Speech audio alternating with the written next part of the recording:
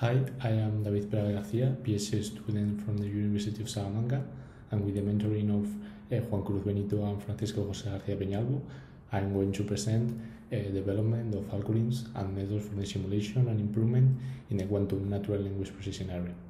First, I am presenting an introduction, next a, a systematic literature review, and after that I'm giving a little explanation of quantum natural language processing and a proof of concept.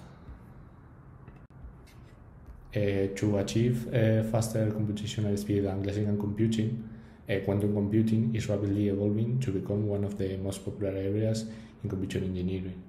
the advent of noisy intermediate scale quantum devices or NISQ devices has made it possible to perform this work on quantum computers in areas like chemistry, finance, or machine learning. In the last one, one of the sub areas of interest is quantum natural language processing, and one of the lines of research uh, already allows uh, not only to encoding uh, words into qubits, also the association of these words according their syntactic categorization with quantum combinatorial circuits or ansatz to allow, for example, the, the association of the circuits to a neural network. At the beginning of 2022, uh, we published a systematic literature review in the quantum machine learning field. This is a review of the literature published uh, between 2017 and 2021 that was presented to identify, analyze, and classify the different algorithms uh, using quantum machine learning and their applications. Some of the main types of algorithms found are implementation of classical machine learning or deep learning algorithms, such as support vector machines, K-proximal model or quantum neural networks. Uh, here we can see a, a, quantum neuron, a complete backpropagation neural net, and an application of a neural net uh, classifying 4x4 pixel images.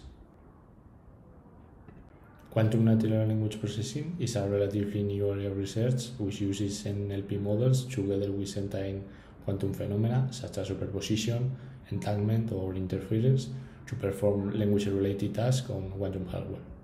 Evok is one of the main authors of QNLP, who established the conceptual and mathematical foundations for quantum natural language processing, as well as the creation of the DiscoPy libraries, which provide code tools to define an intuitive syntax to create string diagrams and monoidal functions.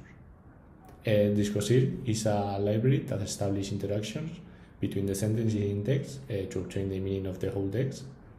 And finally, lambeq is a set of tools that facilitates uh, syntactic analysis, rewriting, and simplification of the string diagrams, as well as the conversion of them into ansatz or quantum circuits. As a next step of the thesis, a first approach has been done with a small proof of concept, uh, taking algorithms that are already defined and tested with satisfactory results, but uh, using them with different datasets. Uh, to create the new dataset, we use the, the sentence structure uh, of the form noun plus conjunction plus noun plus verb plus positive or negative adjective. Uh, for example, Peter and Mike are happy in order to classify the sentence into positive or negative sentiment. Uh, first, uh, as we can see, the, the input sentences are taken from the dataset and a string diagram is formed and converted into normal form there, after that, the resulting diagram is transformed into an ansatz using the instantaneous quantum polynomial ansatz. And once it's done, uh, the circuit is embedded in the model, and after the, the model is trained, we can observe that we obtain an 80% of accuracy in the validation dataset.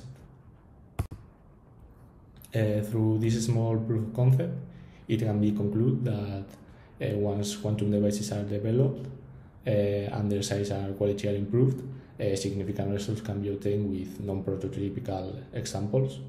Uh, for future lines of work, it is proposed to expand the number of words that can be included in the same sentences to analyze up to the maximum point of number of qubits available and increase the complexity of the words association. I hope you have enjoyed the presentation and thank you so much for your attention.